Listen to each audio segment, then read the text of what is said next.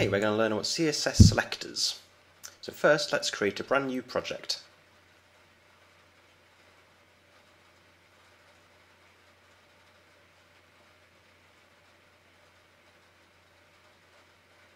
We're going to be using an image later, so let's add it now.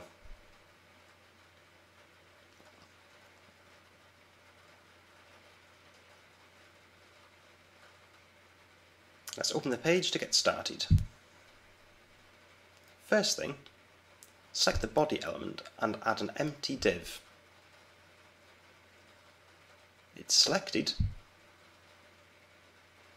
so let's give it a class. We're going to call the class foo.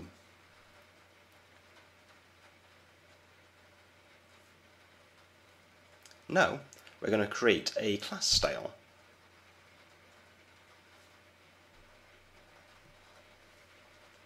We're going to call this dot foo. The period at the start is very important.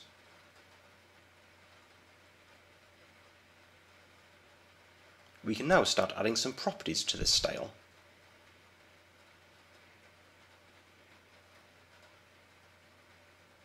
We can see it take effect immediately. Remember, we are adding these properties to the external style. They are not inline.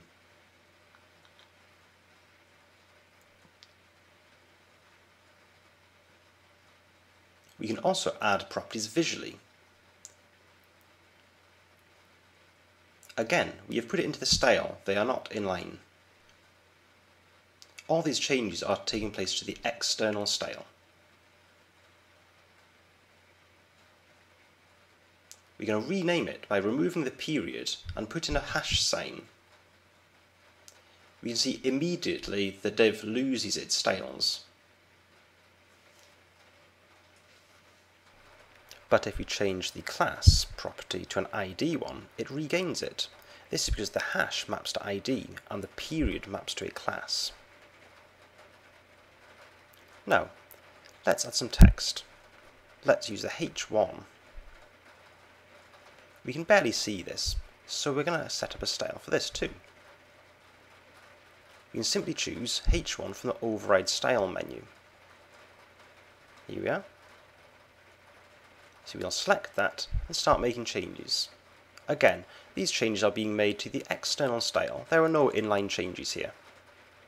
We change the colour. We can change the font size as well. We can barely see this text, so let's change the colour again.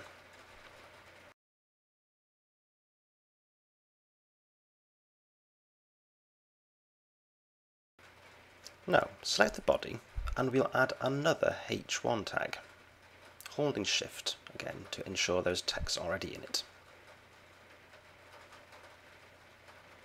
We can see it immediately adopts the H1 style. However, if we rename this style to have hash foo before it,